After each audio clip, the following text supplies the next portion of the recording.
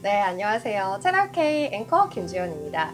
어, 지난 시간부터 저희가 방송할 때 보는 HTS 화면들 어떤 것들 보면서 시장을 읽는지 소개를 드리고 있는데요.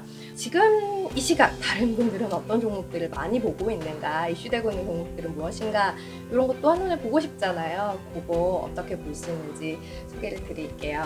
네, 영웅문4 이용하시는 분들이라면 요거 그 실시간으로 어떤 종목들이 가장 검색이 많이 되고 있는지 확인하실 수 있어요. 0298 이렇게 치시면 어, 지금 이제 시간이 나와요. 11시 2분 30초를 기준으로 어떤 종목들이 가장 많이 검색이 되고 있는지 이렇게 한눈에 보실 수 있어요.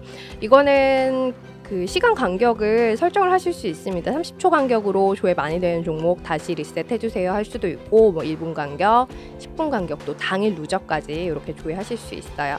어, 30초 간격으로 설정해서 조회를 해 볼게요. 지금 아난티, 뭐 특수건설, 고려시멘트, 성신영에 오늘은 이렇게 대북 관련된 종목들이 좀 많이 보이는데요. 삼표시멘트, 어, 대하티아에도 있고 20위까지 이렇게 확인을 하실 수 있습니다. 지금 기준으로 보면 아난티 가장 많은 분들이 찾아보고 있어요. 오늘 뭐 주가도 많이 오르고 있기도 하고요.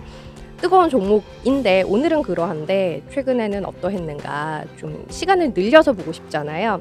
요거는 화면 번호가 0796이에요. 아난티에 대한 최근의 수급을 확인하실 수 있습니다. 이렇게 개인, 외국인, 기관 나눠져 있죠. 금액 기준으로 설정을 해놨고요.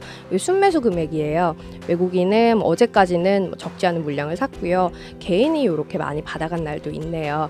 요 기간은 설정을 하실 수 있습니다. 여기서 누적 순매수 확인하실 수 있어요. 어, 개인 수급 그리고 외국인 수급, 기관 수급 이렇게 한 달간 누적해서 어느 정도의 흐름을 보였는지 있는지도 살피실 수 있습니다. 어, 종목의 수급을 좀 기간을 늘려서 보고 싶다, 추이를 보고 싶다 하는 분들께는 유용한 화면이 아닌가 싶어요.